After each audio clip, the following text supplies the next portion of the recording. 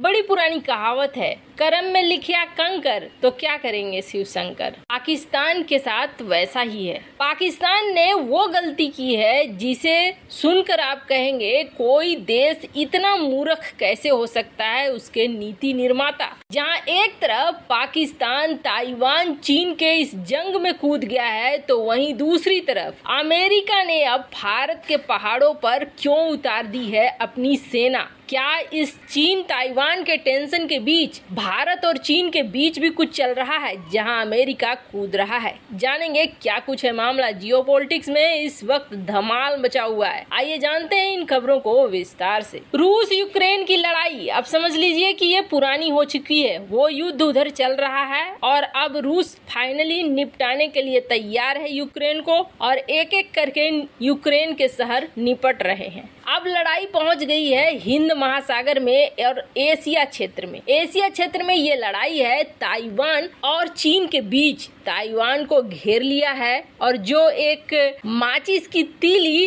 बारूद में फेंकने का काम अमेरिका ने कर दिया है और ताइवान में पेलोसी की यात्रा उसी घटना को मानी जा रही है। क्योंकि अगर जिनपिंग इस वक्त नहीं भी चाहेगा तो भी जिनपिंग को कुछ न कुछ एक्शन ताइवान पर लेना पड़ेगा। और इसी के तहत ताइवान को छह तरफ़ से घेर कर फायर ड्रिल शुरू हो गई है और इसके अलावे 21-21 फाइटर जेट अंदर घुस रहे हैं ताइवान के। अब कहीं पर अगर मिसाइल अटैक हो जाता है तो कोई बड़ी बात नहीं होगी। पर चीन और ताइवान के इस झगड़े के बीच, जहाँ सबसे पहले रूस कूदा, और रूस ने ये कहा कि हम बिल्कुल भी अमेरिका के खिलाफ हैं। अमेरिका ने एक युद्ध भड़का दिया यहाँ पर। यूक्रेन के साथ हमारा युद्ध भड़का दिया, और अब अमेरिका ताइवान में युद्ध भड़का रहा है। ताइवान और चीन को लड़ा रहा है। मतलब हर जगह अमेरिका एक नए नए युद्ध को खड़ा कर रहा है। रूस का ये बयान आया। रूस तो पता ही था वो चीन के साथ रहेगा। पेलोसी की यात्रा से पहले भी रूस ने यही बयान दिया था। और पेलोसी की यात्रा के बाद भी रूस ने इसी तरह के बयान दिए कि ये खतरनाक है, गलत है, वगैरह वगैरह। पर अभी हाल फ़िलहाल में कहा जा रहा है जवाहिरी की मौत के लिए। सौदा किया पाकिस्तान ने अमेरिका के साथ। जवाहिरी का पता बताया पाकिस्तान ने ताकि अमेरिका आईएमएफ से लोन दिलवाने में मदद करे।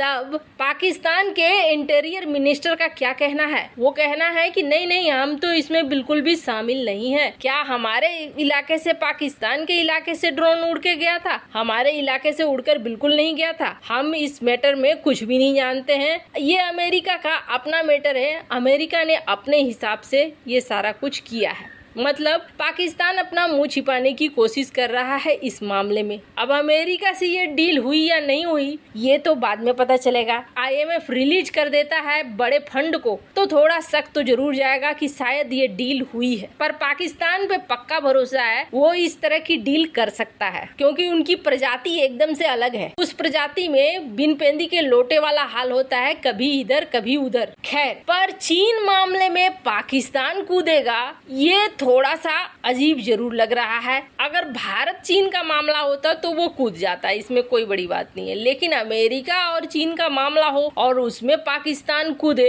अभी जबकि बाजवा खुद अमेरिका फ़ोन कर करके मदद मांग रहे हैं। पर ऐसा हुआ। पाकिस्तान कूदा चीन और ताइवान के मामले में और पेलोसी की यात्रा को लेकर जो बयान दिए, अमेरिका ने नहीं सोचा होगा कभी कि पाकिस्तान इस तरह के बयान देगा। पाकिस्तान ने साफ़ कहा कि हम चीन के वन चाइना पॉलिसी का समर्थन करते हैं। और ये बात किसी और ने नहीं, बल्कि पाकिस्तान के विदेश कार्यालय के प्रवक्ता असीम इफ्तार ने कहा कि चीन की संप्रभुता, क्षेत्रीय अखंडता का हम समर्थन करते हैं। उन्होंने कहा कि ये जो स्थिति हो रही है ताइवान स्ट्रेट में, ये हम इसको लेकर बहुत चिंतित हैं। यहाँ के शांति और स्थिरता पर बहुत गंभीर प्रभाव पड़ेगा। पहले से ही यूक्रेन संघर्ष के कारण एक बड़ा स्थिति खराब हो चुका है। भुखमरी की स्थिति आ चुकी है। अंतर्राष्ट्रीय खाद और एनर्जी में, सेक्टर में बहुत ज़्यादा गिरावट है। एक और संकट दुनिया नहीं सकती है। दुनिया की शांति, सुरक्षा, अर्थव्यवस्था के बहुत निगेटिव परिणाम होंगे। इसलिए इस समस्या का समाधान चीन और ताइवान को करना चाहिए और ये यूएन के चार्टर के अकॉर्डिंग होना चाहिए।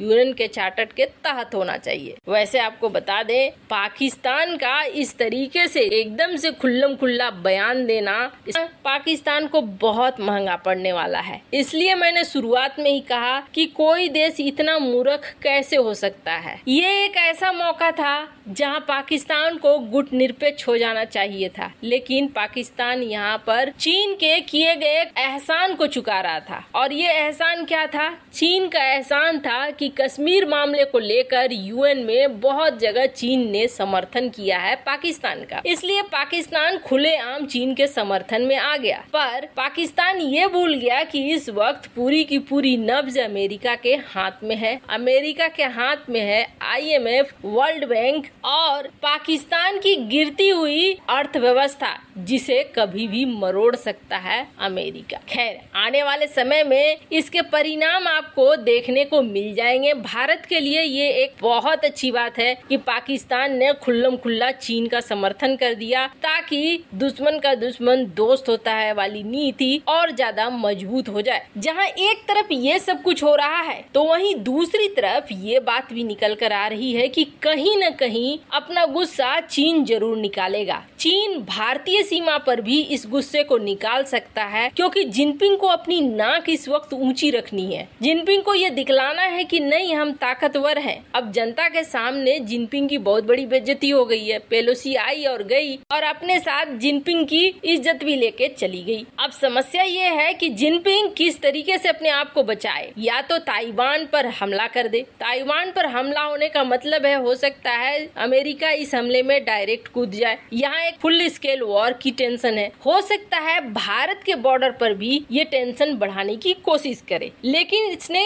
अभी देखा है कि तेवर भारत के बदल गए हैं। पहले चीनी फाइटर जेट सॉर्टी दिया करते थे, भारतीय एलएसी पे घुमा करते थे, पर अब कथित तौर पर भारतीय वायुसेना भी यही काम कर रही है। जिसको लेकर चीन शिकायत भी दर्ज कर रहा है कि इन्होंने हेलीकॉप्टर उड़ाना शुरू कर दिया है, इन्होंने फाइटर जेट उड़ाने शुरू कर दिए हैं। पर इन सब के बीच चीन के लिए एक बहुत चौंकाने वाली खबर है कि अमेरिका और भारत एक बार फिर उत्तराखंड के औली में जो कि एलएसी से मात्र 100 किलोमीटर दूर है, यहाँ पर एक्सरसाइज कर रहे हैं। ये युद्धाभ्यास अभी तो प्लान है 14 से 31 अक्टूबर के लिए। लेकिन कहा जा रहा है कि इस एक्सरसाइज को पहले भी किया जा सकता है। दरअसल, पर्वतों पे लड़ाई के मामले में भारतीय सेना का कोई जवाब नहीं है। इसलिए ऐसे जगह को चुना गया है जो दस हज़ार फीट से ऊपर है और यहाँ पर दोनों की सेनाएँ लगातार युद्धाभ्यास करेंगी। मतलब पहाड़ पर युद्ध लड़ने के लिए ट्रेनिंग ले रही है अमेरिकी सेना, भारतीय सेना से। वैसे इन सब मामले में आपकी क्या राय है? कमेंट कर ज़रूर बताएँ। जल्द मिलते हैं अगले वीडियो में नई खबर के साथ।